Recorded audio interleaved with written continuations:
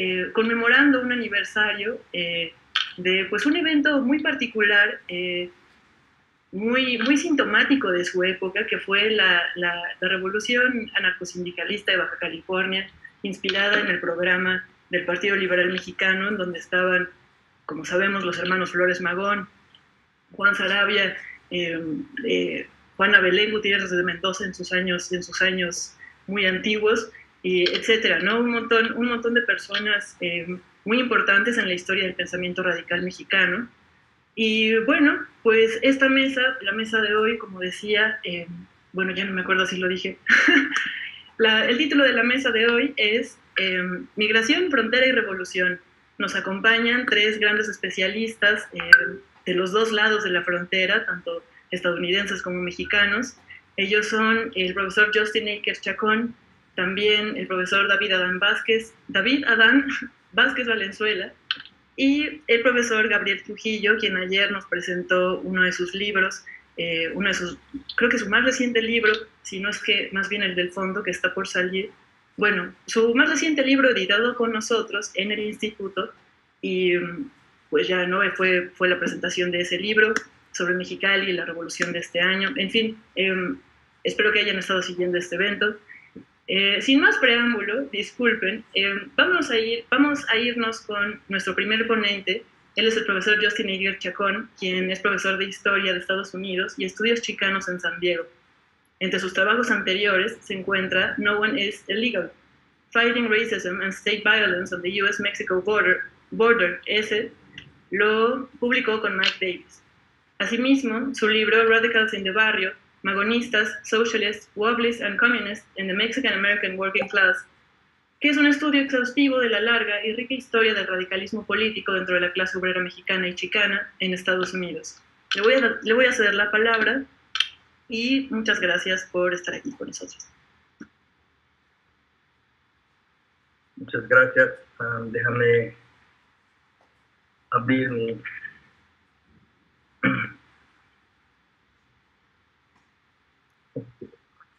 Perdón.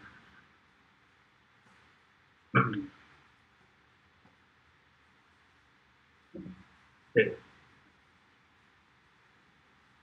Perdón, hay muchas ventanas abiertas aquí. Todo, ok, gracias. Uh, buenas tardes y gracias por la invitación a participar en este uh, importante evento un análisis histórico del papel del Partido Liberal Mexicano en la frontera entre los Estados Unidos y México en el periodo de la revolución contiene para mí importantes lecciones y relevancia para hoy. En 2022, como hace un siglo, la clase capitalista, Estado independiente y sus representantes políticos todavía tratan a México como una colonia de trabajadores y recursos la derecha política ve a los 11 millones de trabajadores nacidos en México y sus familias y otros migrantes como incompatibles con el concepto de la nación blanca europeo y criminaliza su presencia para exportar su mano de obra. Y los sectores de la derecha más extremos buscan expulsarlos del país por completo. Ah, en la actualidad hay más de 20 mil agentes de la migra armada, hay retenes, aviones teledirigidos, equipos militares, etcétera, y un complejo de muros fronterizos militarizados, mientras que hay otros 25 mil agentes de ICE que terrorizan y cazan a mexicanos indocumentados en los 50 estados y los mandan a cientos de centros de, de, de detención, donde hay más de 20 mil enterrados en cualquier punto antes de deportarlos. Desde Biden, por ejemplo, más que millón ah, y medio han sido deportados, la mayoría mexicanos, pero también centroamericanos y africanos, etc. Persiste la violencia también ah, similar a la de la era de Jim Crow y el Ku Klux Klan, el tipo de fascismo ah, estadounidense contra la población mexicana en los Estados Unidos. En muchos sentidos, los partidarios del PLM mirarían con horror a la zona fronteriza de hoy, ya que es un lugar más peligroso y mortal para los mexicanos que hace un siglo. Para el 1906, el imperialismo estadounidense y europeo había convertido a México en, en una zona ampliamente colonizada y disputada. El capital estadounidense era dominante y controlaba gran parte de la economía mexicana. La inversión de capital creó las condiciones de un desarrollo combinado y desigual. El capital extranjero creó y controló el desarrollo industrial, mientras que millones de mexicanos fueron expulsados de sus tierras a través de la privatización y la comercialización, con las ganancias masivas repatriadas al norte de la frontera. Entre 1900 y 1930, más que un millón y medio mexicanos cruzaron las fronteras como migrantes, como por ejemplo mis abuelos, y formaron gran parte de la clase, clase trabajadora, especialmente en el sureste, pero en otras, otras partes también. Cuando los liberales mexicanos cruzaron como exilios y se, constituyó como el PLM en el sur de Texas en este periodo, entraron en una región poblada con mexicanos que se extiende desde Laredo, Texas, hasta San Diego, donde estoy yo ahora, y hasta el norte a Chicago y otros lugares. Más de 200 mil mexicanos han, establecido comunidades que fueron reconstruidas en varios campamentos, etcétera, y que, fue, que fueron racialmente, racialmente segregados y marginados donde quiera que estuvieran situados. Como liberales, en el sentido original, los del PLM habían mirado originalmente a los Estados Unidos como un modelo, como un ejemplo para el desarrollo democrático y capitalista para México. Una vez que vivían en Estados Unidos y especialmente como parte de la experiencia migratoria mexicana, cambiaron sus, opinión, sus opiniones y, y, su política. Y pronto se convencieron de que como México bajo día, Estados Unidos era una nación capitalista corrompida. También fueron testigos a, y experimentaron los efectos de la supremacía blanca y la violencia colonial de, de los colonos, settler colonial violence, directamente.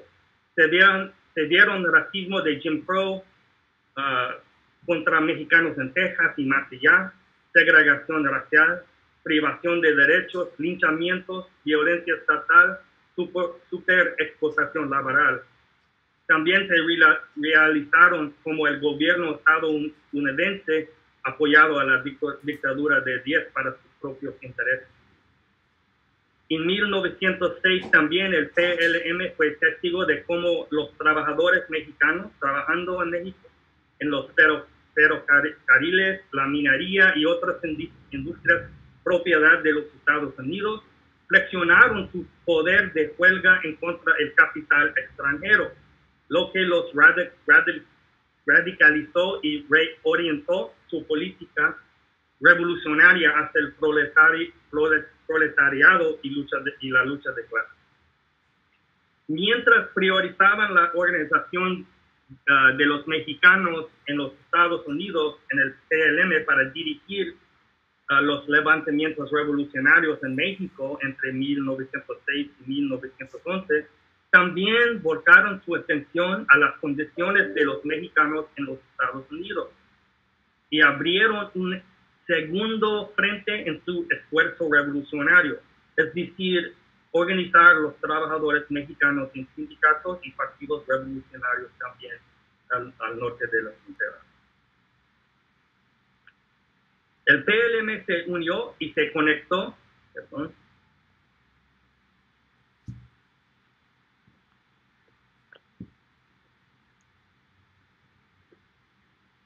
se unió y se conectó a través de mutualistas en Texas, Nuevo México, Arizona, California, Colorado e incluso en Chicago, Illinois. Los mutualistas laborales, especialmente, funcionaban como cuasi sindicatos y ya existían y, y operaban en algunas partes del suroeste. Algunos migrantes anteriores también tenían experiencia con la organización sindical y los movimientos socialistas y anarquistas en México y trajeron estas tradiciones, con ellos. Dentro, dentro de, este, de estas redes construyeron sindicatos y también organizaron células del PLM para unirse al llamado a las armas de México. Los trabajadores mexicanos uh, en, en, estas áreas se unieron al PLM atraídos por su política y especialmente a través de los sindicatos que formaron. Los radicales orgánicos de esta naturaleza se convirtieron en líderes obreros y cuadros del PLM. Estos internacional, internacionalistas mexicanos también eran propensos a unir a, diferentes nacionalidades de trabajadores en una organización común. En mi texto uh, uh, uh, hablo de varios ejemplos de esto, incluso eh, con italianos en, la minería de, de, Arizona y también con los japoneses en la el campo de sur de California, los campos de sur de California. También ellos cruzaron la frontera de nuevo para apoyar uh, huelgas en México, como la gran huelga en Cananea, Sonora, en 1906.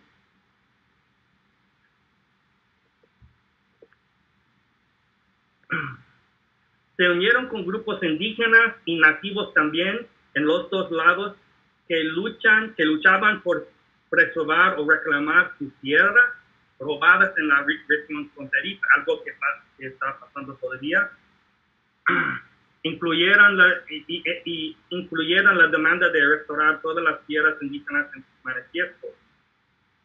Y los revolucionarios también se formaron en sus filas. Como parte de su trabajo, crearon o esperaron la creación de muchos periódicos ah, en, en el suroeste, más que 40 en total, Ah, que se crearon o que se afiliaron o apoyaron al PLM en este año, en estos años. Mi orden está, no sirve bien, pero en la cima, su, su periódico Regeneración del Día más que 10.000 ejemplares por edición en la ciudad de Los Ángeles, en California, en 1911, con una circulación regional a todo el suroeste de más de 25.000 ah, ejemplares. En, en 1909, después de ver las limitaciones de la, los sindicatos en los Estados Unidos, especialmente la conservadora Federación Estadounidense del Trabajo, y, y también el reformismo capitalista de la, de, la ala, del ala derecha del Partido Socialista, uh, el PLM llamaron a sus afiliados y miembros a unirse a grupos revolucionarios como uh, los Trabajadores Industriales del Mundo, o IWW en inglés. especialmente relevantes fueron los cuadros de, del PLM que se, PLM que se unieron a la izquierda del Partido Socialista en el sur de Texas, donde organizaron miles de inquilinos mexicanos en defensa de los derechos a la tierra y con los trabajadores, con los trabajadores industriales del mundo, IWW, en, en lugares como Arizona, en Los Ángeles, en San Diego aquí, por ejemplo, donde organizaron sindicatos y dirigieron huelgas significantes en los ferrocarriles, en la agricultura y las fábricas el PLM generó un cuadro que fue fundamental en, por ejemplo, en la fundación del primer Congreso Mexicanista en Texas en 1911, que fue el primer movimiento de derechos civiles conocido de mexicanos en los Estados Unidos.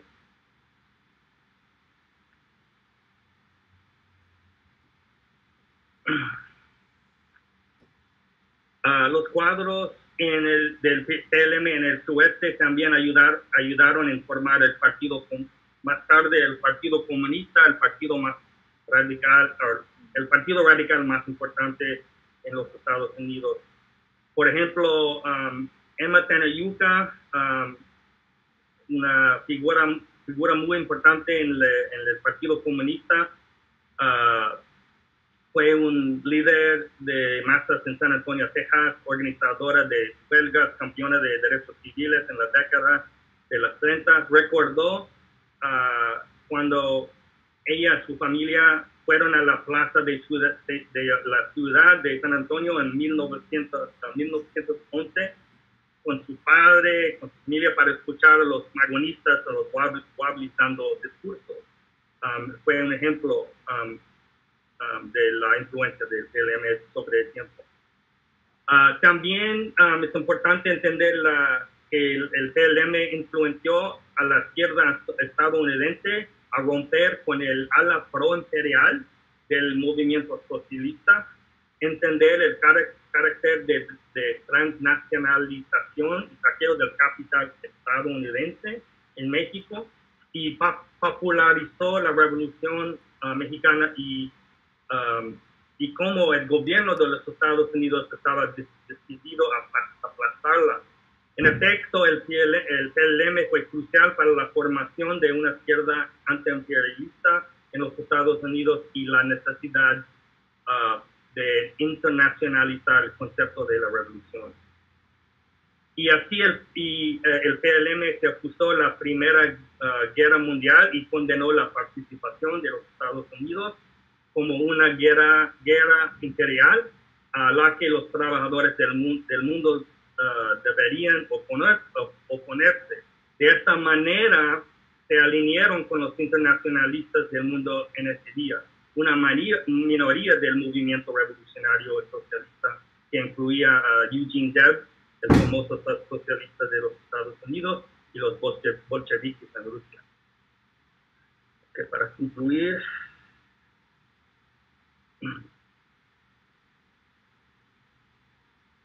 estos, uh, esto, esto es un, con fotos de, de Emma Teneyuca, eh, del movimiento de trabajadores um, organizados por comunistas en, el en California en los 30, los años 30, y esto es Bert Corona, una figura que fue magonista en su juventud y que fue organizador, organizador de los trabajos en el Congreso Industrial de la organización Congreso Industrial y también fue una, figura, figura, muy importante en la formación del movimiento chicano, que toda la vida se consideró um, influido por el magonismo y por el PLN.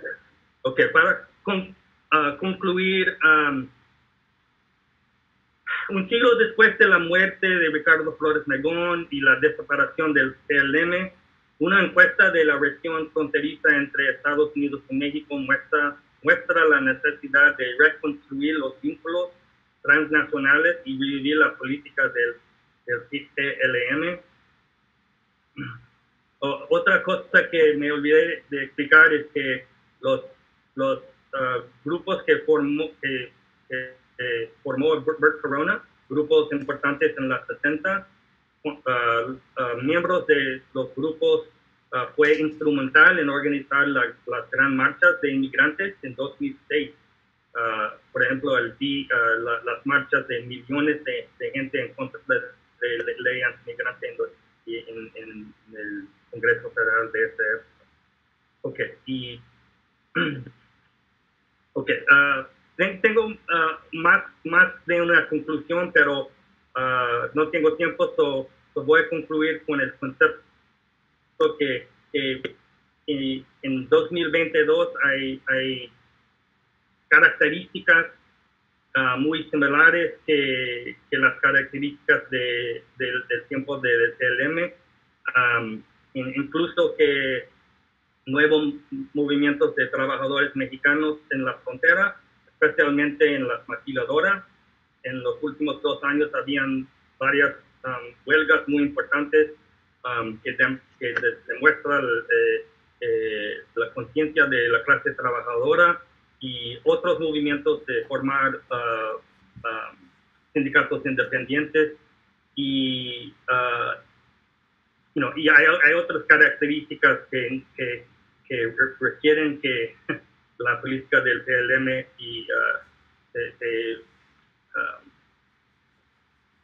se renace.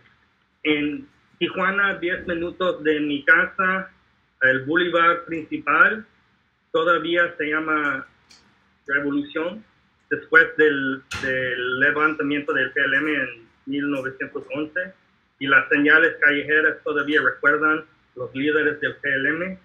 Y para mí el alma de Ricardo Flores Magón todavía se despierta y los ecos de la lucha liderada por el PLM, PLM aún resuenan. Gracias.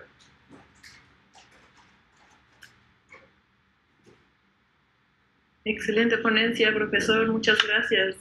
Eh, sí, ¿no? Todo, todo lo que se parece la frontera hoy a la frontera de ese entonces, cómo, cómo esas relaciones, eh, cómo los conflictos que se dan en esa región están absolutamente marcados por el racismo, ¿no? Eh, por las dinámicas de segregación, y cómo, bueno, esas dinámicas además se repiten a lo infinito hacia afuera y hacia adentro de cada institución y cada, cada espacio.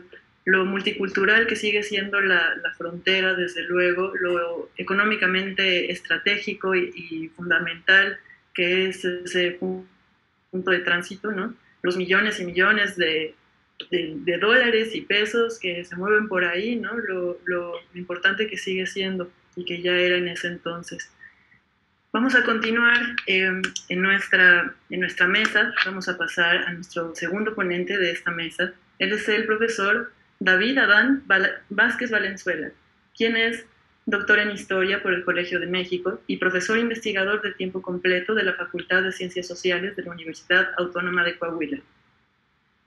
El doctor David Vázquez obtuvo mención honorífica en la categoría del doctorado en la octava edición del Premio Arturo Barman 2020 por su tesis de betabeles y revoluciones, el Partido Liberal Mexicano en los, distintos en los distritos remolacheros del sur de California y el Valle del, Río Arkansas, en Colorado, 1890-1929. Esta tesis elaboró, eh, eh, la elaboró para obtener su doctorado en Historia del Centro de Estudios Históricos del Colmex. Y el profesor también obtuvo el Premio Salvador Azuela en 2019 que otorga nuestro instituto. Él nos va a presentar eh, una ponencia y le cedo la palabra.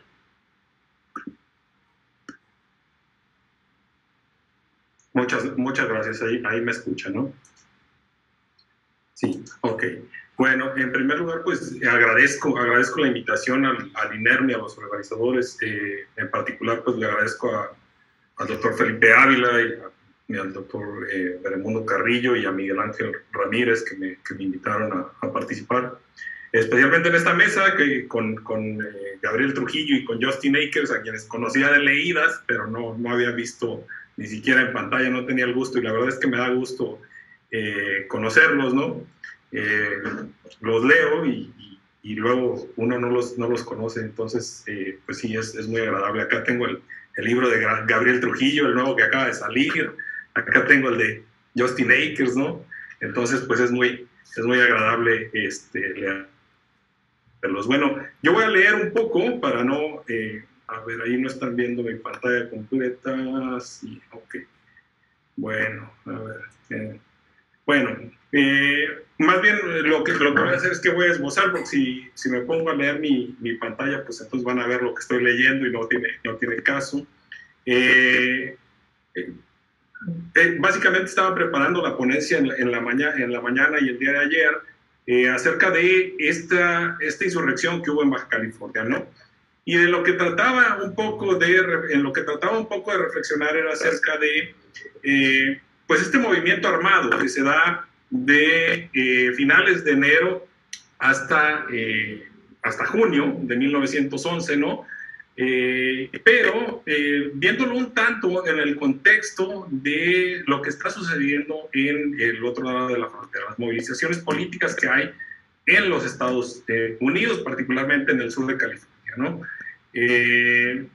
No, voy a, no voy a hablar tanto de lo que sucede en Baja California, porque para eso pues ha habido especialistas, ¿no? Aquí está Gabriel Trujillo y ha habido, estuvo ayer eh, Marcos Samaniego aquí eh, como ponente.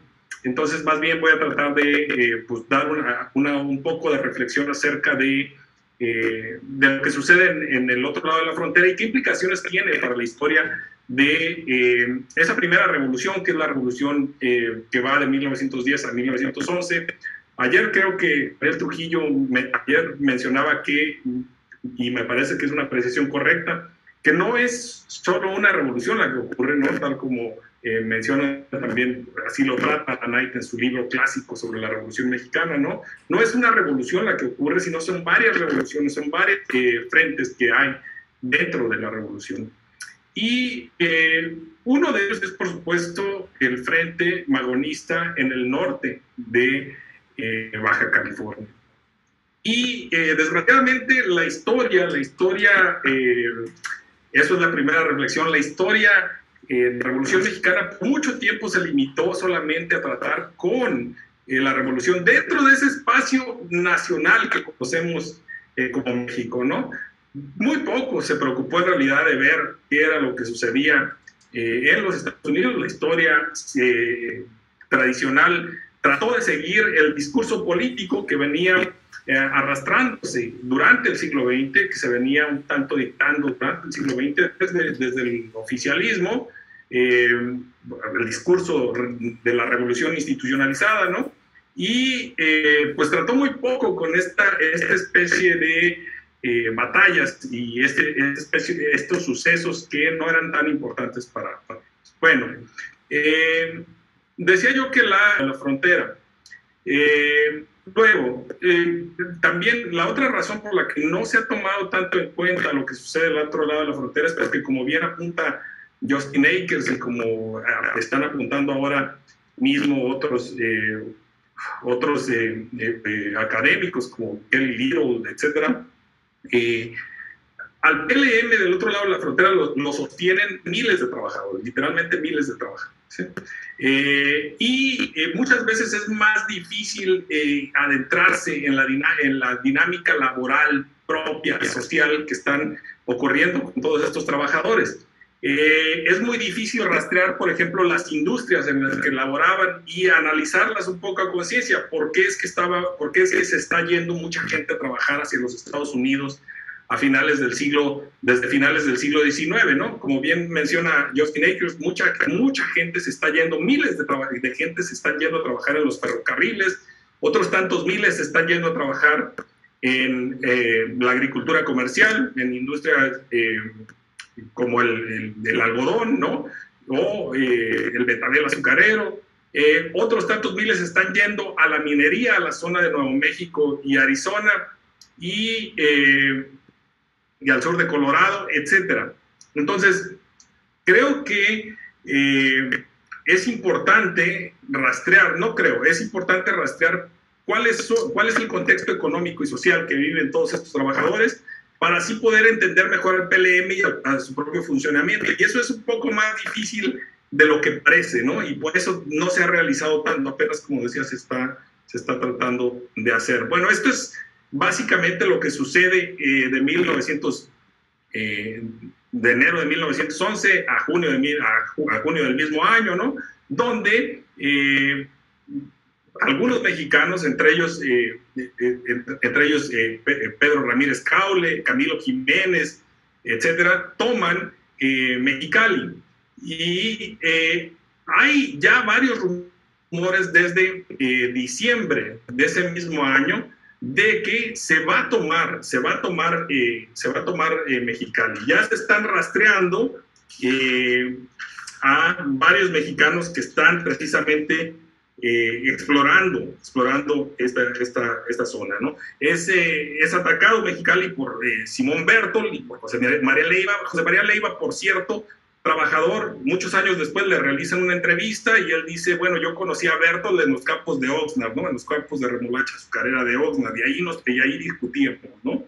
Eh, Bertolt es eh, hijo de, eh, parece ser que es originariamente de Arizona y de padre de origen alemán. él después dice que es de Sonora, no está muy claro de, de dónde es. y eh, varios de ellos están, están, atacando, están atacando Mexicali, algunos dicen que son 19, otros dicen que son 20 los que atacan Mexicali, no nos vamos a meter en eso porque si no, eh, de eso el profesor Trujillo Muñoz seguramente sabe más y, los historiadores eh, de Baja California que, que nosotros, ¿no? ¿Qué sucede? Bueno, lo que sucede es que atacan Mexicali y muy rápidamente hay mítines, hay juntas, hay reuniones para juntar fondos del otro lado de la frontera, el 5 de febrero, más o menos, eh, hay ya una reunión en eh, Los Ángeles. Pero ¿por qué, ¿por qué se da esta reunión eh, en Los Ángeles? ¿Dónde se están? Los periódicos lo dicen muy claramente, los que, como bien apuntó el profesor Trujillo Muñoz ayer, el LA Times es anti Flores Mago, ¿no? ¿por, qué, ¿Por qué se está dando esta movilización y estas movilizaciones políticas del otro lado de la frontera? Bueno, porque el PLM precisamente para este momento tiene una serie, una red de clubes que le están apoyando y que se ha articulado tanto en el sur de California como en el suroeste, ¿no? En el suroeste de Estados Unidos y en el sur de California en general. Desde, perdón, desde 1905, cuando se, cuando se constituye el, eh, eh, el Partido Liberal Mexicano en septiembre, eh, surgen varios clubes de apoyo, ¿no? Y va a estarse movilizando gente tanto en los campamentos ferrocarrileros, como en los campamentos agrícolas, como en los campamentos de la construcción, como en los campamentos mineros. Y eso uno lo ve muy claro en, regeneración, ¿no? Cuando uno ve las donaciones, uno ve que provienen de centros eh, mineros, centros ferrocarrileros, centros, centros agrícolas, y que son centros que están donando constantemente y que muchas veces son los mismos personajes los que están donando desde sus centros y que están sosteniendo eh, al PLM, ¿no? Bueno, eh, la campaña dura cerca de, tres o cuatro meses, ¿no? Ahí están involucrados eh, Teodoro Gaitán, por ejemplo, que ustedes ven acá en la esquina cuando se toma Tijuana, es, es minero, ¿no? Antonio de Pío Araujo, que es miembro del PLM, pues es un, es un miembro, es un mando medio. Leiva es, es eh, betabelero, eh, y así podríamos irnos con varios de los trabajadores mexicanos que eh, tienen una lógica no necesariamente nacional, ellos están, ni, ni, siquiera local. es decir, no están tratando de segregar Baja California para llevarse a Estados Unidos, cosa que tampoco me voy a meter porque ya sé que existe una polémica que se trató ayer, ¿no? Eh, pero, eh, pero lo, que, lo que sí están tratando, lo que ellos están pensando es en un cambio eh, que tiene que ocurrir en México, que tiene que ocurrir en el país de origen. Y para eso, ellos no están pensando necesariamente en nacionalidades, están adoptando y están utilizando toda la ayuda que les proveen los, los miembros de, eh, estadounidenses que son miembros de organizaciones radicales, ¿no? Bueno, eh, decía yo que existe una red de clubes, esto es, por ejemplo, eh, algunas poblaciones que tienen precisamente clubes en San Bernardino, en Chino, donde existía una refinería de Betabel, en Santa Mónica, donde hay cultivos comerciales también en este momento, en Oxnard, en Santa Paula, que todavía hay cultivos comerciales, en Long Beach, etcétera. Y todos estos clubes son los que se están movilizando. Eh, en un primer momento, la, a ver, la campaña de Baja California no es lo primero que moviliza a los miembros de estos clubes. Lo que, lo que moviliza a los miembros de estos clubes es, eh, en una primera instancia es el arresto de Ricardo Flores Magón Librado Rivera y Antonio Villarreal en 1907, en agosto. ¿no? Entonces, ¿qué pasa? Cuando salen... Eh, los líderes del PLM en agosto de, eh, de 1910, tres años después, eh, rápidamente se reactiva esta red que ya se tenía, ¿no? Entonces se fundan otra vez clubes, ¿no? Muchas veces están en estos mismos lugares y se supone que al principio se fundan para apoyar eh, la publicación de regeneración. Entonces se llaman clubes, grupos de regeneración y se están fundando en todo el sur de California, en sitios como San Diego, en sitios como Bakersfield, en Tunco, que había una mina, por eso también decía que es importante eh, rastrear eh, cuáles eran las industrias que empleaban a estos magonistas. Por ejemplo, ahí trabajaba Teodoro Gaitán, que, eh, participa en la toma de Tijuana. y Tunco es un pueblo fantasma el día de hoy, ¿no? O sea, no existe, bueno, existe, pero no, no hay gente. Entonces, eh, es importante ver cuáles son las industrias que emplean a estos mexicanos y qué lógica tienen. Por ejemplo, aquellos que se empleaban en los cultivos de betabel eh, van a estar, van a estar eh, teniendo más dinero, por ejemplo, en el tiempo de la cosecha, que, hay tiempos donde no hay trabajo, simplemente se regresan a México, ¿no?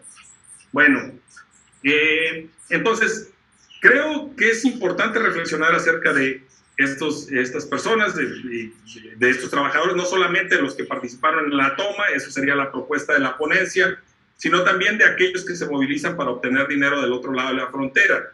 Existe por ahí eh, eh, varias movilizaciones de enero a, mayo y, por ejemplo, hay en algún momento dado, eh, Vlad Lara Cáceres, que es eh, simpatizante del PLM, dice, en la placita de los mexicanos nos reuníamos cada sábado, cada domingo y hacíamos proselitismo y hablábamos a favor de lo que estaba ocurriendo en Tijuana y recolectábamos dinero. ¿Qué pasaba? Que ponían unos cajones eh, y comenzaban a hablar eh, y a realizar proselitismo en favor de lo, del Partido Liberal Mexicano y lo propio ocurre en San Diego.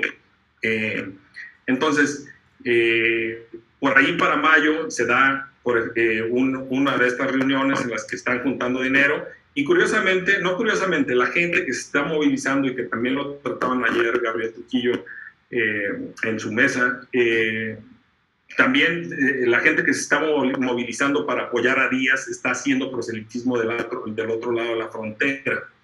Eh, hay por ahí gente que le, cuando realicé la investigación, hay gente que le escribe, usted necesita gente y si usted necesita dinero, díganos. Y nosotros juntamos aquí gente y juntamos dinero para mandarle y para ir al frente de batalla. En San Diego se organiza, de hecho, eh, una sociedad de defensores de la integridad nacional, ¿no? Que luego eh, va a desembarcar en Ensenada y va a estar taleando también en contra de los magonistas. Entonces, no sé, y aquí quizá Gabriel Trujillo nos podría ilustrar, eh, no sé si sería válido decir, y sería un punto de discusión para la mesa, que eh, esta revolución, entre comillas, o este ataque o esta lucha viene del norte. Eh, ahí me interesaría escuchar lo que, lo que diga eh, Gabriel Trujillo, porque creo que eh, pues quien tiene que decir eso son los de, los de Baja California, obviamente, ¿no? que, que son quienes están haciendo y están escribiendo la historia de aquel lado. Eh, hay varias movilizaciones, existe una carta donde un, un individuo que se llama Nacer López dice, bueno, no escuché lo de Baja California e inmediatamente estábamos trabajando en los campos, en Bakersfield todavía hay mucha industria agrícola, dice, y e inmediatamente traté de convencer a mis eh, compañeros para que fuéramos a luchar en contra de estos vagonistas que existía la creencia iban a quitar, a desmembrar Baja California y entregarle a Estados Unidos, ¿no? Este, este mito del filibusterismo, del fantasma del filibusterismo, eh, pensaban desmembrar a la Baja California para entregarla a Estados Unidos. ¿no? Pero sí asustó a mucha gente y movilizó a individuos como este Néstor López, como Néstor Arreola, como Francisco del Pozo, que escriben a Porfirio Díaz, que movilizan gente, que juntan gente. Hay noticias en donde eh, notifican a Díaz precisamente que tienen decenas de hombres listos para ir a luchar al frente de batalla y eh, que realizan reuniones como la que realizó un individuo de Coahuila, al que, eh, que se llamaba Rodolfo Moncada Villarreal, que por cierto va a surgir más tarde como muy cercano al consulado, que había sido cercano al Partido Liberal Mexicano y que finalmente eh, cuando ve eh, que se está radicalizando se eh, distancia de ellos y lo que va a hacer es que va a acercarse también al consulado. Moncada Villarreal eh, cuando uno checa regeneración en, en, esos meses, ahí sale eh, varias veces eh, denunciado por Ricardo Flores Bagón, quien dice que pues, es un enganchador, es un guerrero, eh, así lo dice él, entre comillas, eh, que básicamente está engañando mexicanos. Lo, acá lo interesante es ver que eh, si es un enganchador y si es un contratista, está dentro de la lógica del mercado laboral estadounidense que precisamente está llevando a mexicanos a trabajar hacia allá, ¿no?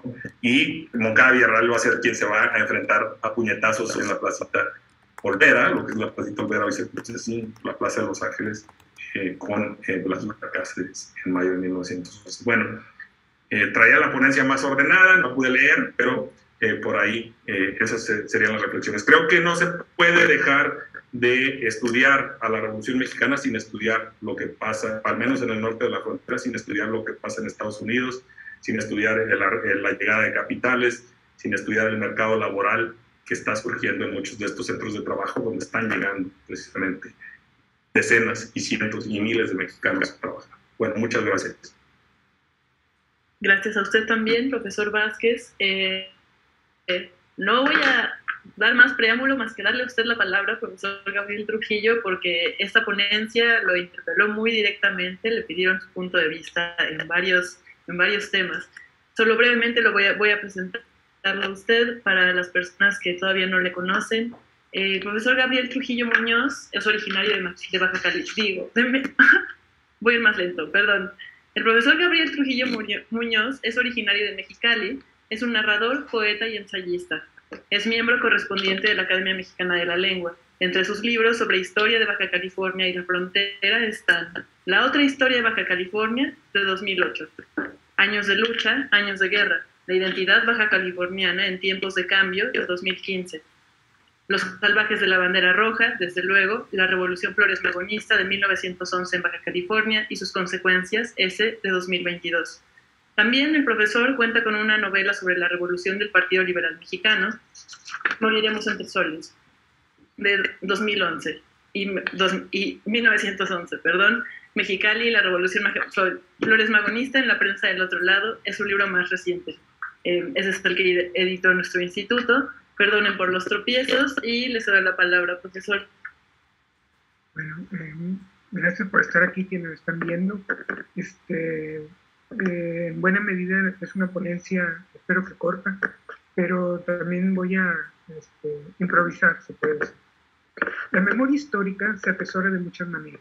Por más que un episodio conflictivo se quiera hacer desaparecer detrás de una visión glorificadora, el pasado siempre vuelve por sus fueros y toma posesión de nuestro presente con el arrasador de 1911 en Baja California, Ahora que se conmemora el centenario luctuoso de la muerte de Ricardo Flores Magón, su principal impulsor y guía, es tiempo de volver sobre ese movimiento armado y estudiarlo de nuevo desde otras perspectivas. Pienso que indagar hoy en día en la Revolución Mexicana ayuda mucho si se hace desde la periferia de México y desde el otro lado, desde luego, desde la frontera norte del país, lo que nos permite comprender mejor que este fenómeno, el de la Revolución Mexicana, no fue uno, sino muchos movimientos libertarios comprometidos con los cambios sociales, políticos, económicos, culturales de su tiempo. Y que eh, cada facción revolucionaria creía indispensable, desde su punto de vista, desde su ideología, cómo salvar a nuestra sociedad del callejón sin salida que era la dictadura porfirista.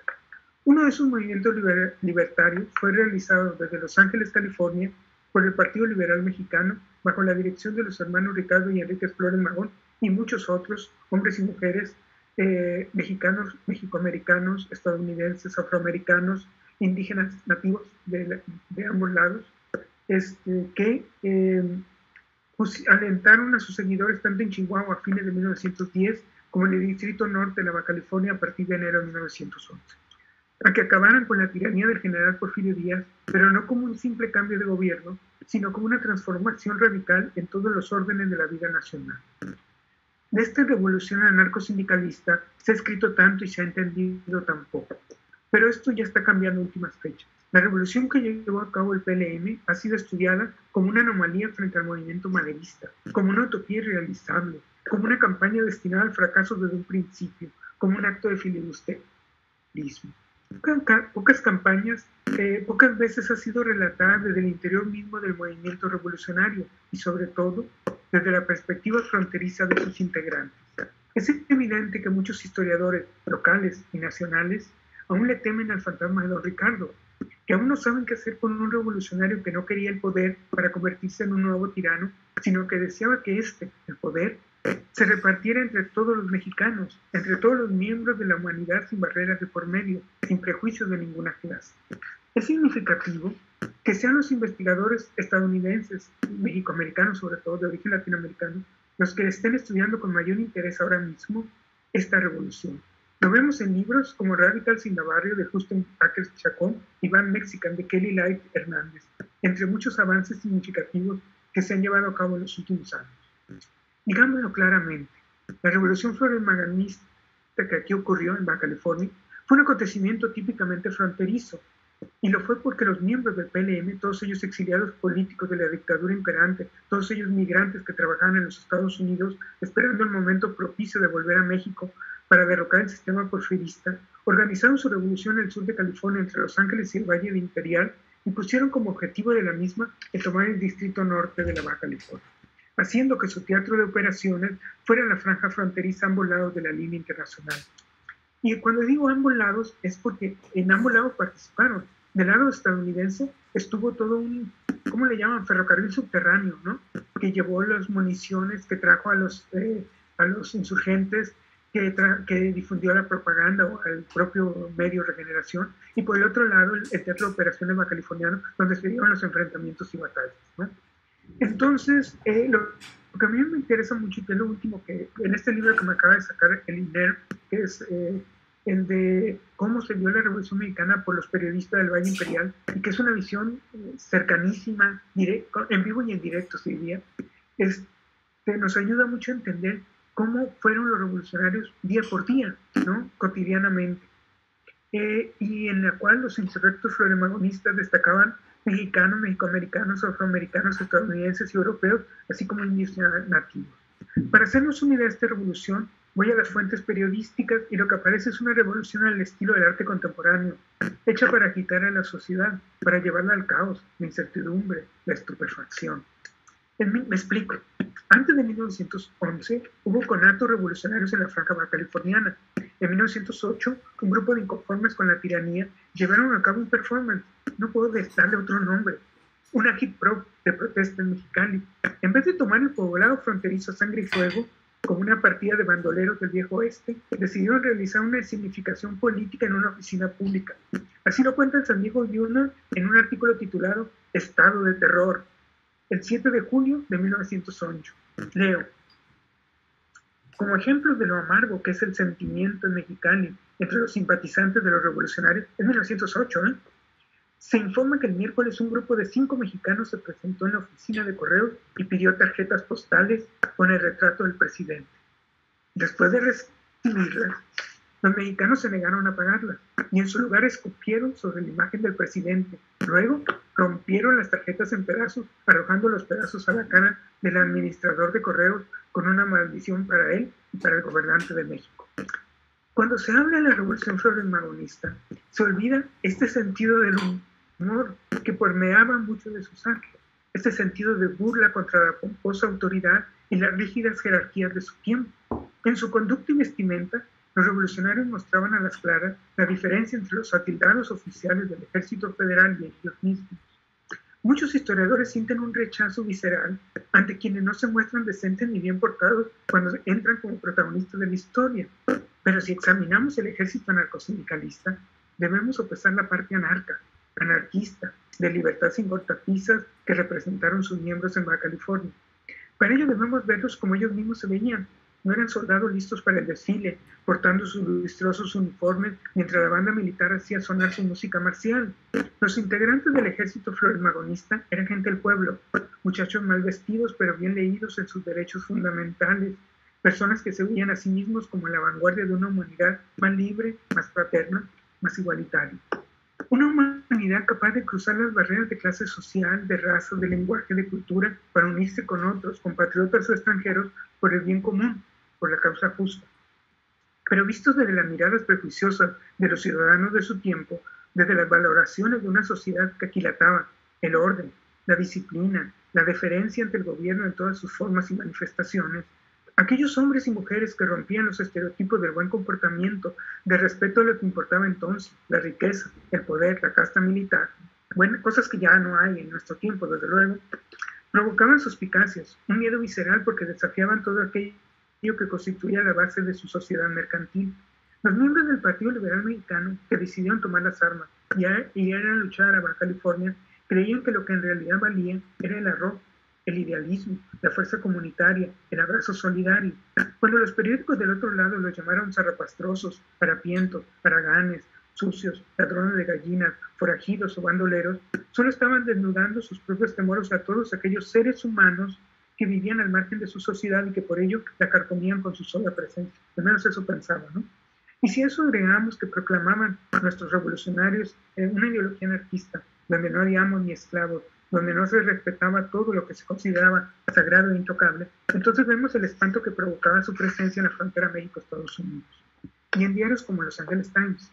En el número de regeneración del 11 de febrero de 1911, don Ricardo comentaba que el 5 de ese mismo mes, en el auditorio del Templo del Trabajo de Los Ángeles, ante miles de simpatizantes de la causa liberal, se leyó una carta del escritor Jack London donde este respondía en forma burlona a los insultos del Times. Es una carta muy conocida, ¿no? Nomás leo un pequeño párrafo.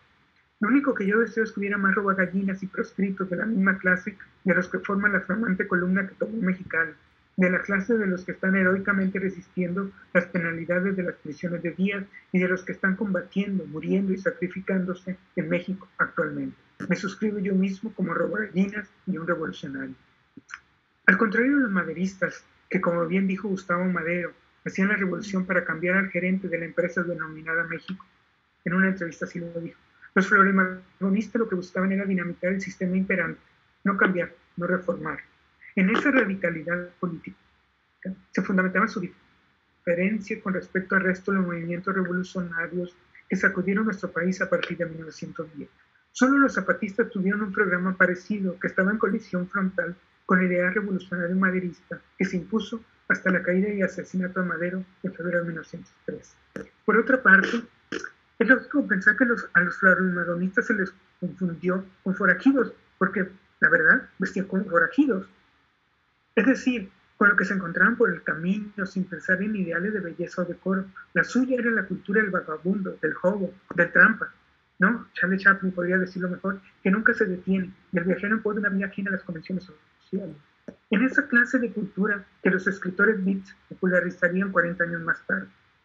Pero como revolucionarios, como migrantes, como exiliados políticos, en muchas ocasiones los anarcosindicalistas demostraron que se podía confiar en ellos a la hora del combate, al momento del enfrentamiento. Como revolucionarios natos que vivían de su impulso por cambiar el mundo y transformar la vida, llegaron a ser los más rebeldes entre los rebeldes, los menos dados a soportar las órdenes de paciencia y de cautela de la gente al mando. Y a veces por ello ganaron la victoria y a veces por ello obtuvieron la muerte. Pero su sola presencia en la frontera los hizo algo que hoy conocemos muy bien, celebridades. En una nota del Caléxico Crónico del 11 de febrero de 1911, a casi dos semanas de haber capturado a Mexicali, Bertolt, el jefe rebelde, era seguido por una multitud de periodistas y curiosos. Cito, el líder Bertolt, con una escolta, se dispuso a cerrar los salones a las 8 en punto. Le daremos a Mexicali lo que usted llama un día seco, dijo con una sonrisa. Una multitud de curiosos seguía el destacamento mientras iban a una taberna a otra. Una veintena de maestros de escuela de todo el valle, del Valle Imperial, siguieron a Bertolt. Una atrevida señorita acorraló al valiente líder cuando salía de un local y con una sonrisa le pidió que saliera al sol para poder hacerle una foto, una selfie, ¿no? Eh, vaya, vaya, dijo Bertolt, mira qué bigotes traigo, déjeme tener tiempo para afeitarme. Pero la bella visitante, gringa tenía que ser, temía perder su oportunidad, así que lo agarró de la manga del abrigo, lo sacó suavemente al sol, asegurándole que estaba haciéndole un gran favor y también se aseguró de su foto instantánea es, es, esto que está periodísticamente hablando, esto es de una riqueza ejemplar. Estamos viendo la vida exactamente cuando está sucediendo. ¿no? ¿Cómo definir a los floremadonistas que vinieron a liberar a California de la tiranía porvirista? Tal vez hay que considerarlos como migrantes que querían regresar al solar nativo para cambiarlos desde la raíz, como seres fronterizos en su modo de vida, en sus personalidades andariegas. Representan una variopinta comunidad en pie de lucha, cuyos trayectos vitales se dieron en continua fuga en permanente ejercicio de su libertad. Entre ellos hay desde indios nativos de Baja California como Emilio Guerrero hasta miembros del sindicato de la Industria Workers of the World como Stanley Williams y Carrie Price, pasando por rancheros fronterizos como Rodolfo L. Gallego, cantores folclóricos como George Hill, defensores de los obreros del norte mexicano como José María Ley y Humberto. Y a ellos había que agregar a los miembros de Baja California del Partido Liberal Mexicano, como Margarita Ortega. Eh, Pero no solo fueron revolucionarios los que tomaron las armas y combatieron contra las fuerzas opresoras de la dictadura mexicana, perdón. Los algodones, Tecate, San Quintín, el Álamo, Tijuana. También lo fueron los que llevaron a cabo frente a las narices mismas de las autoridades porfiristas labores de zapa, tareas de información, labores de contrabando de armas y municiones, de propaganda para su causa. Solo así se puede valorar a estos voluntarios mexicanos, estadounidenses o americanos que se enlistaron en el ejército florimaronista porque vieron lo mismo que advirtieron los periodistas del Imperial Valley College, que el Imperial Valley Press en su editorial del 18 de febrero de 1911. Y aquí nomás voy a leer una, una pequeña frase.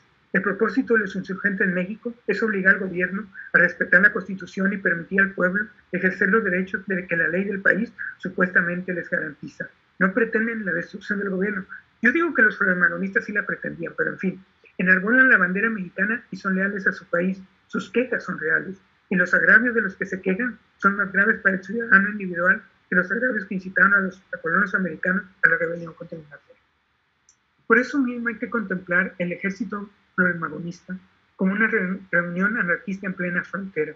Pero no hay que quedarse con el concepto de que todo fue ideología en plan libertario, sino hay que verlos, su actuación, como un, como un ejemplo de, de, de la vida en comunidad, en cierta manera. Y aquí me paso a, lo que quiero, quiero a la conclusión. Quiero concluir diciéndolo obvio. Los revolucionarios floremagonistas son más que figuras para odiar o glorificar, como ocurre todavía ahora en nuestro tiempo, eh, migrantes que creían en la posibilidad de un mundo más justo, de una sociedad donde nadie tenía que hacer lo que no quería. Por eso vinieron a Baja California. Por eso no eran gente rígida, sino austera. Personas que comprendían que no, todos estaban, no todos estaban para cambiar el mundo, aunque así lo desearan. Que la vida revolucionaria es una opción entre tantas otras para transformarse a uno mismo y a los demás. El editor del Calexico Chronic, Otis Vito, le tocó ser testigo presencial el 17 de febrero de 1911 de un momento único en una calle polvorienta mexicana. Apenas dos días después de la batalla que llevó a la derrota del gobernador Celso Vega, cuando este militar trató inútilmente de recuperar esta población sin conseguirlo. Doy paso a la cita, la última. Un muchacho norteamericano de 18 años se acercó tembloroso al general Leiva esta mañana y le dijo que no se había dado cuenta de lo que hacía cuando se avistó en el ejército floremagonista y que deseaba ser libre. Claro, dijo el general, no queremos a nadie más que a los que saben lo que hacen. Y le dio la mano al chico y le dijo que se fuera a casa y se portara bien. Es hora, creo, de ver a la revolución anarcosindicalista en 1911 en California como ese gesto del comandante José María Leiva. Un acto de bondad entre las turbulencias del combate. Un gesto de respeto frente a las paradojas libertarias de la condición humana. No más, no menos. Muchas gracias.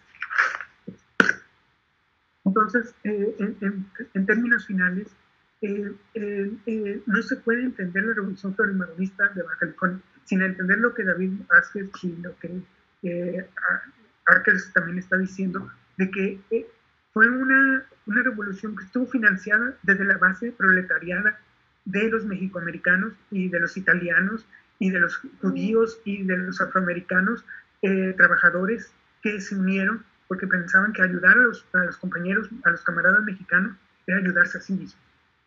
Y en ese sentido, no podemos hablar de magonistas sin entender el sentido eh, eh, revolucionario también de los, obreros, de, los obreros que estaban en California, en Arizona o en otras partes de la Unión Americana y que también deseaban que un día ellos también pudieran liberarse del yugo, del trabajo y de la opresión.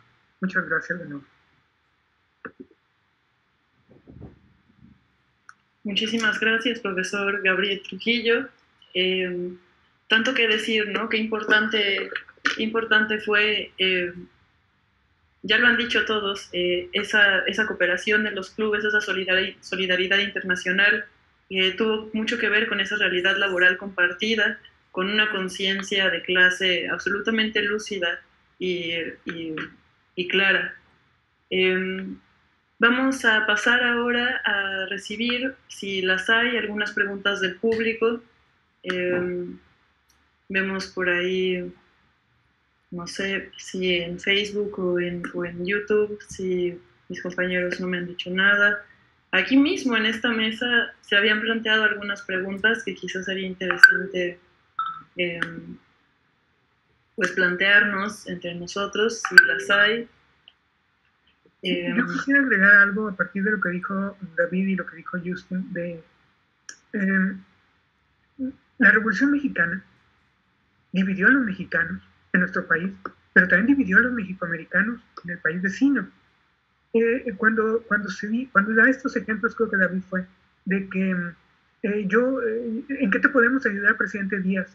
¿Cuánto dinero necesitas? Estamos hablando de dos formas de financiación que son lejanísimas una de otra, opuestas. Una es la financiación del Partido Liberal Mexicano, que es a centavo por centavo, ¿no? ¿Qué puedes dar de peso a peso, de, de, un cuarto, de un penny a penny, ¿no? Y la de, los, de la gente que tiene dinero y que le dice, ¿dónde, qué, te firmo el cheque, ¿cuánto, cuánto quiere Porfirio Díaz? ¿No? porque al final parece que son lo mismo y no lo son. No lo son porque una es una clase social que es de media, media alta, eh, que está unida a los intereses de estas industrias eh, eh, británicas, francesas, estadounidenses, que el porfiriato alentó en el norte de México y en la península de California y en los Estados Unidos también, y que eh, se fueron huyendo de Ensenada a San Diego, a Los Ángeles, y ahí organizaron su regreso, ¿no? Si necesito regresar y hay un ejército revolucionario, ¿qué hago? Pues hago mi propio ejército privado, ¿no? Los defensores de la integridad fueron pagados como ejército privado, ¿no? Incluso el ejército federal, Celso Vega, no quería al ejército privado de los defensores al principio porque eh, no, sabía si iba a poder controlarlo. En realidad no los pudo controlar nunca, pero eh, eh, era un ejército privado, ¿no? Y en ese sentido estamos hablando de que había dos, también la división de la Revolución Federal del Sistema de California repercutió en la división de clases en, Estados Unidos, ¿no? Con el México americano.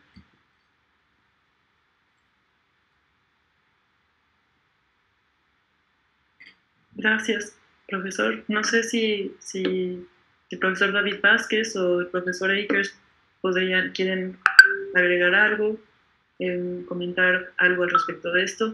Bueno, yo, yo quizá agregaría dentro de esto que está diciendo el profesor eh, Trujillo, eh, que hay que tener en cuenta no solamente la división y el apoyo que tiene Porfirio Díaz de aquel lado de la frontera también, en algo por parte de algunos elementos, sino también de estos grandes capitalistas que menciona el profesor Trujillo, ¿no? Y en Baja California es muy patente con la Colorado Riverland Company, ¿no? que, cuyo dueño es, es precisamente Harrison Gray eh, el dueño de Los Angeles Times. Pero en Los Ángeles también hay eh, gente como Eduardo Gini, que tiene inversiones en Tampico, en el petróleo, ¿no?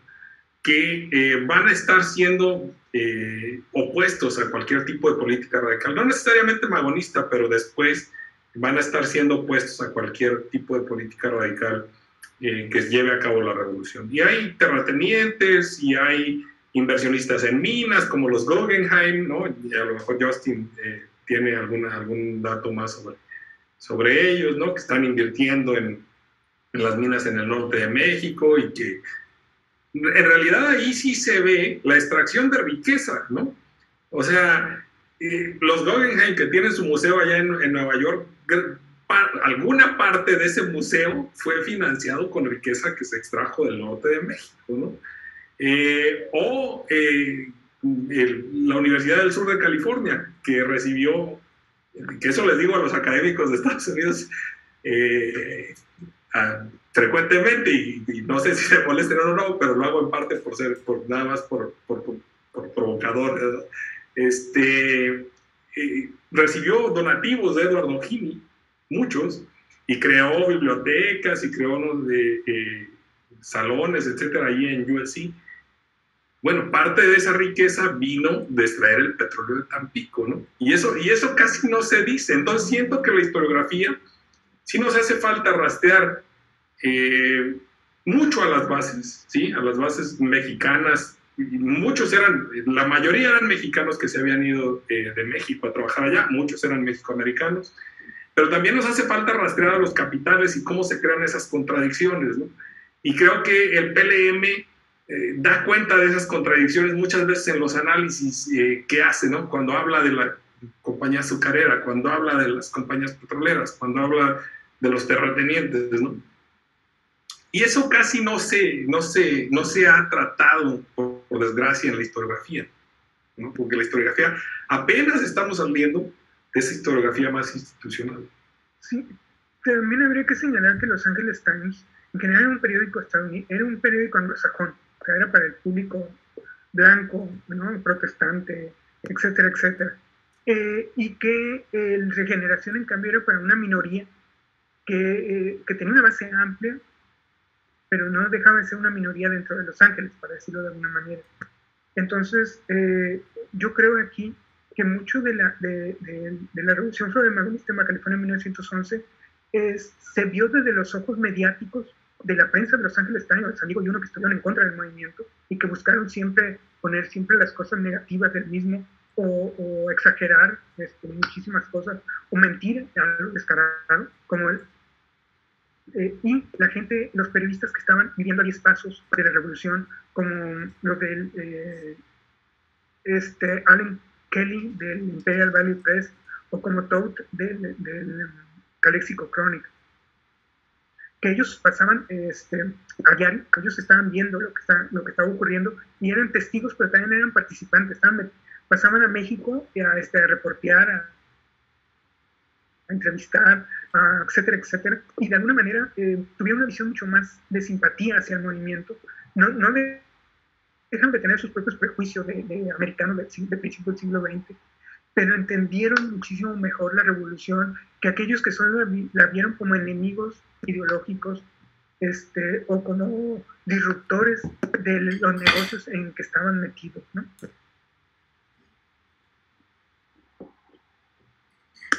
Sí, eh, tenemos ya saludos y un par de preguntas del público que me gustaría plantear, compartir aquí con, ustedes. Nos saludan desde luego desde Mexicali, también desde la Ciudad de México. Y Miguel, Miguel Ángel, que nos está siguiendo, eh, nos plantea una pregunta que vale mucho la pena contestar. ¿Por qué sigue siendo la campaña de 1911 un tema tan polémico en Tijuana, a diferencia de Mexicali, donde hay más apertura para comprender mejor el contexto de los hechos? Y hay una pregunta más por ahí en Facebook de una persona que se llama María Curry. Pregunta, ¿son héroes los que defendieron Baja California? Este, mira, la, diferencia está, y ustedes, eh, los que están allá del INEM y ahora la están disfrutando en, vivo, em, lo que sucede es lo siguiente, eh, para ponerlo rápido y hacerlo eh, distintivo, en Mexicali y en Tijuana ocurrió lo mismo en, el sentido de que llegaron los, los, los magonistas, pero se quedaron, en Mexicali se quedaron cuatro o cinco meses este, eh, controlando esta ciudad o este pueblo, y en Tijuana llegaron en mayo y salieron en junio.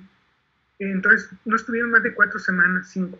Pero el, gran problema de, del floremagonismo es que los que los combatieron eran los hijos o los, o los patrones o los trabajadores eh, de las grandes familias de arraigo, de, de pedigrí de Tijuana, que después eh, los nombraron sus héroes y sus familias y sus eh, sucesores y sus hijos y sus nietos y sus bisnietos y tataranietos hasta la fecha, tratan de ver esa, es, ese comportamiento de sus familiares, de sus antecesores como heroico y que merece la glorificación. En, en Mexicali, en cambio, los que, los que lucharon, no hubo nadie que luchara contra, la, contra los magonistas. Todos los funcionarios porfiristas huyeron a Caléxico y ahí se quedaron hasta que acabó la revolución, pero no tomaron las armas y fueron a luchar contra ellos.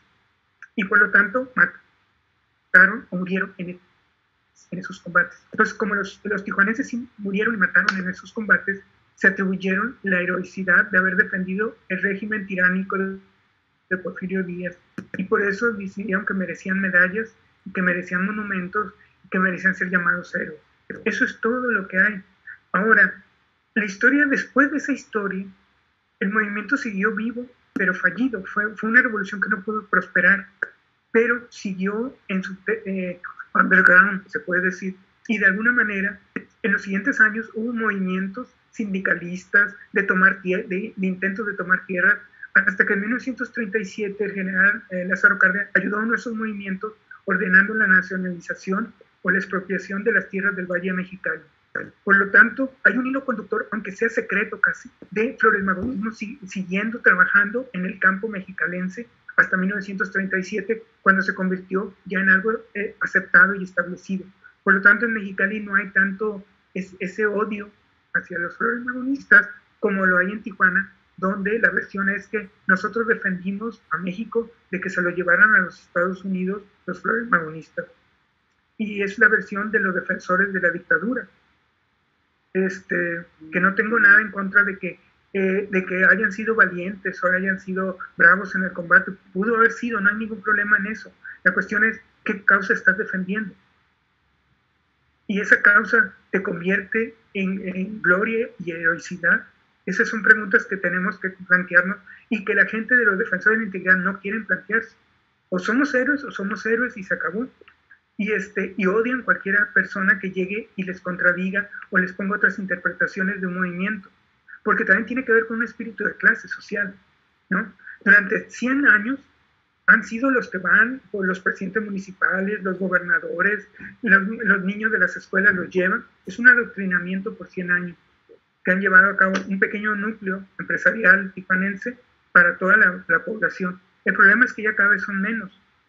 Eh, ayer cuando estábamos discutiendo eso con Gabriel Rivera, yo le preguntaba a Gabriel, eh, yo me acuerdo que eran casi un millar de gente las que se reunían en los años 50 en el Monumento a los Defensores. Te pregunto, y dímelo porque acabo de ver las fotos del periódico y sé cuántos están. ¿Cuánta gente fue a ese monumento eh, hace unos días? Y me dijo, bueno, tal vez unos 40, 50.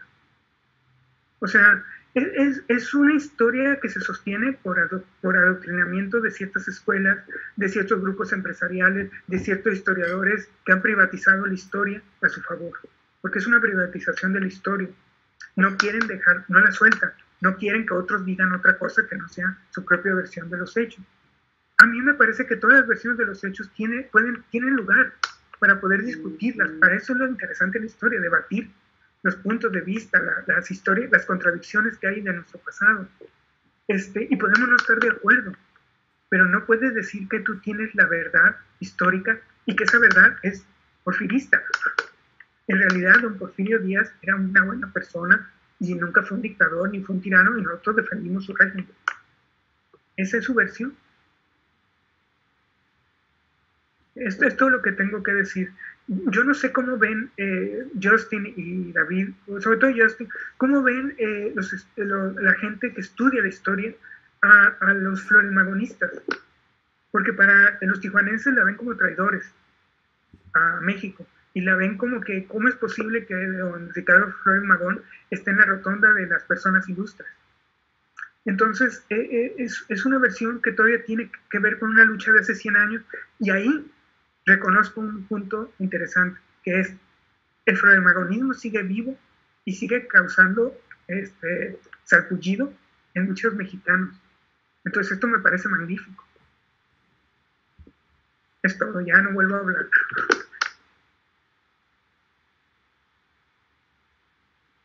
Bueno, em, tenemos una pregunta también para el profesor Justin Akers, eh, que en realidad son dos preguntas.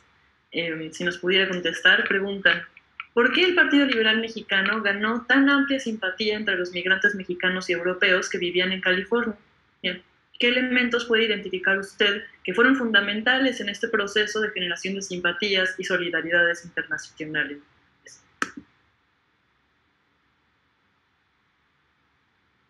Bueno, uh, buenas, buenas preguntas. para mí, para los mexicanos que cruzaron la, frontera,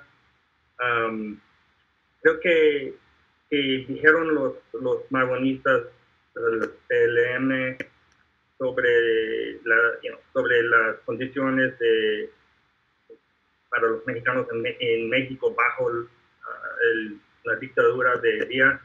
Muchos de los, de los mexicanos adentro de Estados Unidos entendían y, también muchos salieron de México por las condiciones de, desplazamiento. Y ah, también por la, las policías del gobierno que privatizaron la, la tierra, que permitió que capital extranjero no, solo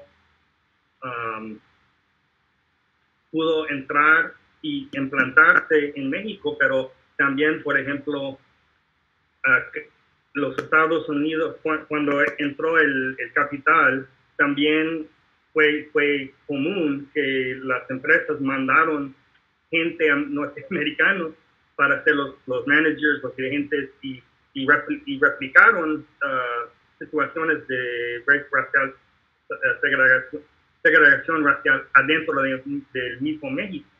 Entonces, las condiciones, you know, fue, parte, el odio de, de, día, um,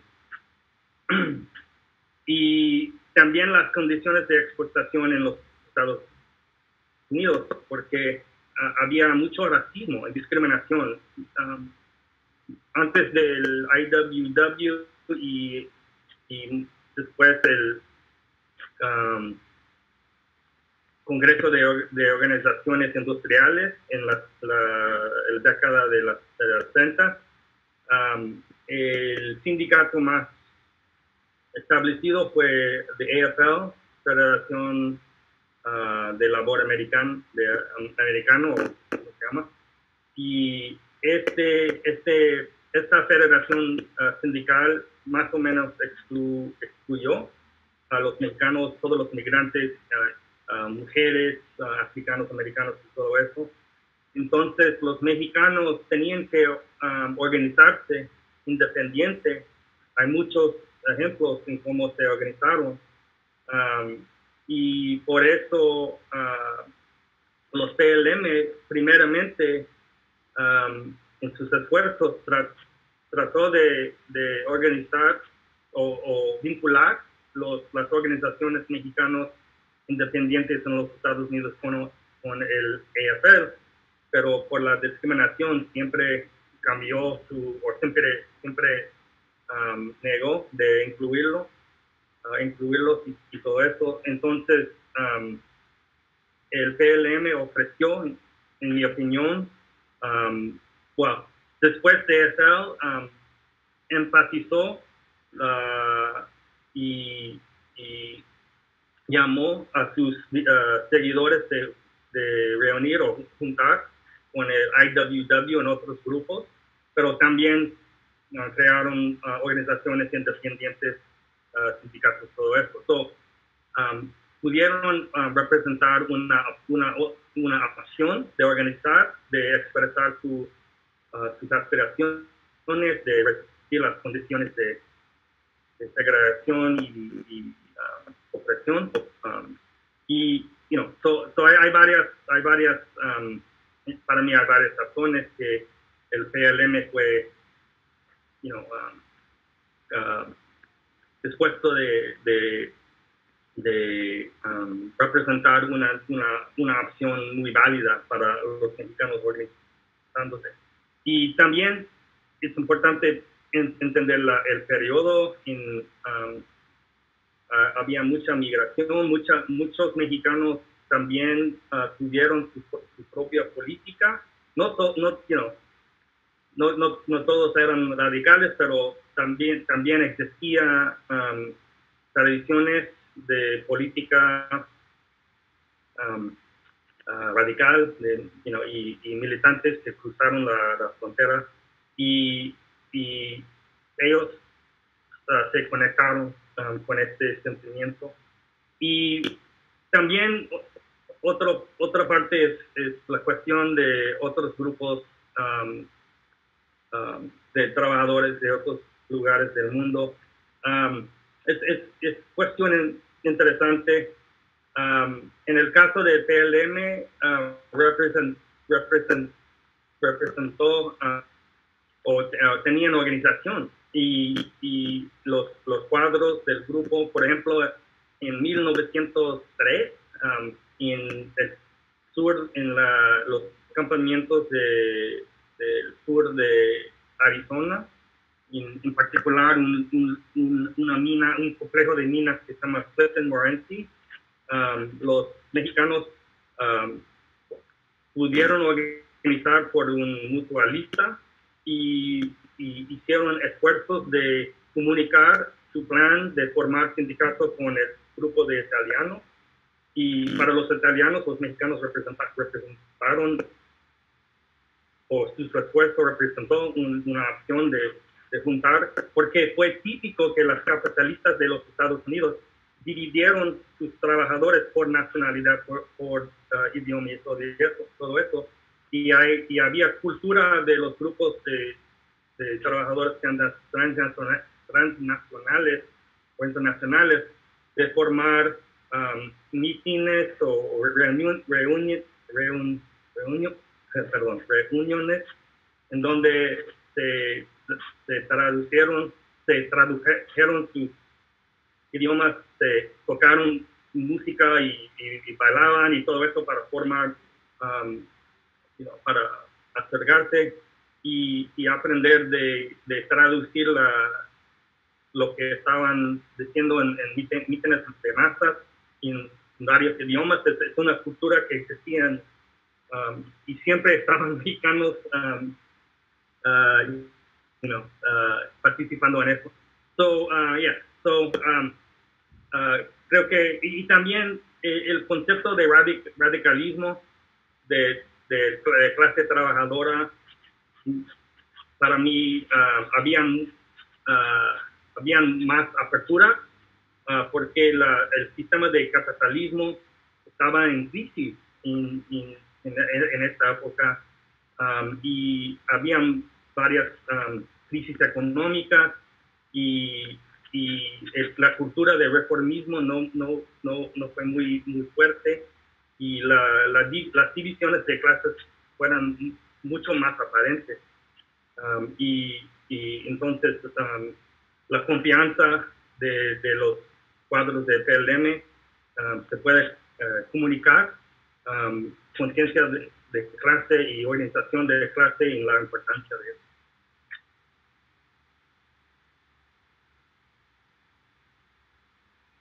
Muchísimas gracias, profesor Justin. Eh, vamos a empezar a cerrar esta mesa, que la verdad eh, ha sido un gran placer eh, escuchar, atestiguar, formar parte de ella, un gran honor además conocer a estos tres grandes especialistas, grandes profesores em, que nos han explicado pues partes tan importantes para entender este tema. ¿no?